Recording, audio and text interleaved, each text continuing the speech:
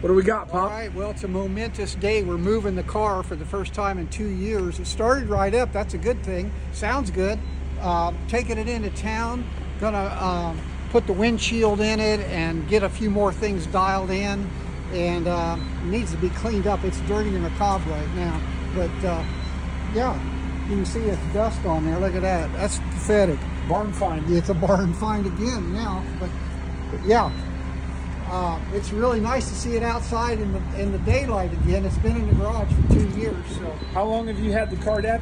uh, I'm thinking four or five years, five, maybe six, seven. Hell, I don't know.